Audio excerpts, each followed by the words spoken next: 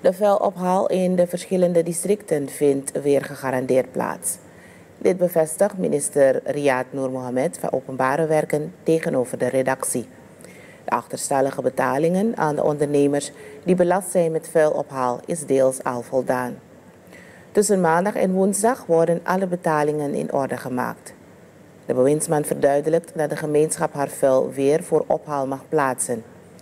Vorige week deed het ministerie een oproep aan de gemeenschap om rekening te houden met de acties van de vuilophaaldienst die het werk neerlegde vanwege ontevredenheid over de uitkeringen.